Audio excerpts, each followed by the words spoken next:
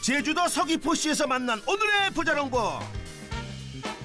한겨울 푸른 밭이 모두 부자 작물이라는데 이 월동무로 조금 성공했습니다. 네. 최소 귀한 겨울철에 수확해 겨울에 먹는 월동무 아삭하고 달콤한 맛까지 최고인데요 월동무 행렬이 끝이 없습니다 8만 병에 2천 톤 정도 다 넘을 겁니다. 엄청난 규모의 무생산량 연매출은 이 무로 연매출 5억을 올리는 이승남입니다. 무농사로 연매출 5억 원 이승남 부자농부의 성공 비법은 금요일 오후 2시 30분에 적극 공개됩니다